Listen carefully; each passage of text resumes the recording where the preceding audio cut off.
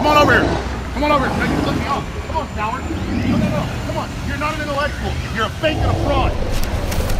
I like to fight too! I'm sorry.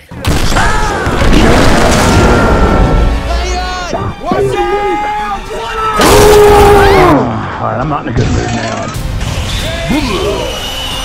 See Godzilla vs. Kong in the theater. Or, or, not. I mean, I guess you could just watch it at home and get a free trial going. I mean, people don't really have to leave the house anymore these days, so, I mean, whatever. Who gives a shit? Where's my check?